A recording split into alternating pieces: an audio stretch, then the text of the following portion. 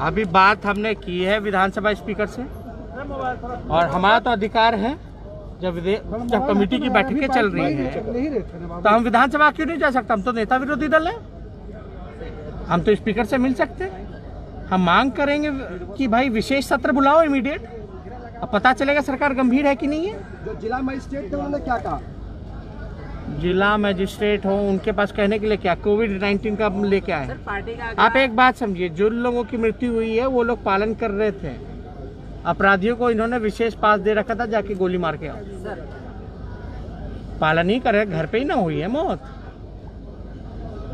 सरकार से हम कितने दिनों से कह रहे कि हम जाएँगे गोपालगंज अगर अपराधी नहीं गिरफ़्तार होगा तो?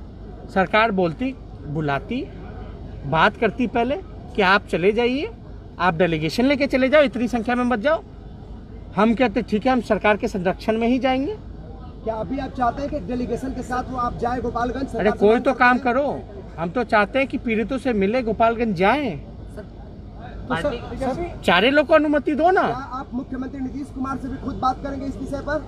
हम पहले स्पीकर से बात करेंगे। अब बात क्या करना विशेष सत्र बुलाएँ। अगर सत्ता पक्ष ईमानदार है अगर अपराधियों को नहीं बुला रही तो विशेष सत्र बुलाए।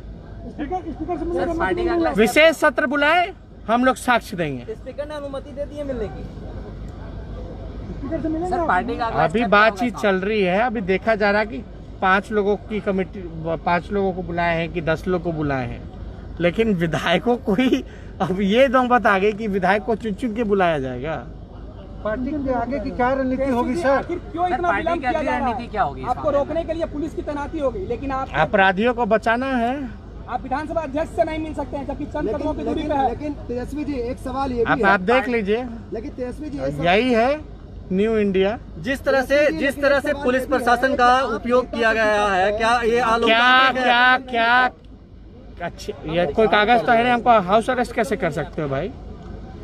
हमने कौन सा उल्लंघन किया? तो दो महीने तक हम तो पालन नहीं कर रहे थे हर जगह सहयोग किया। और हम लोग तो गरीबों को मदद कर रहे हैं हर तरीके से घर में बैठ के भी कर रहे हैं। सर पार्टी का रणनीति तो आप ये देखिए ना जितना फोर्स यहाँ लगाया गया उतना फोर्स अपराधियों को पकड़ने में लगा दिया जाता विधायक को गिरफ़्तार करने में लगा दिया जाता तो ये दिन तो नहीं आता? कई थानों के साथ स्पेशल फोर्स की तैनाती की गई अब तक आपको अरे काश काश ये तैनाती लॉकडाउन के दौरान होती अपराधियों को पकड़ने में होती विधायक को गिरफ़्तार करने में होती। सत्ता पावर का दुरुपयोग कर रहे थे तेजस्वी जी पावर का दुरुपयोग कर रहे हैं। एक सवाल आपसे भी है। तानाशाही है।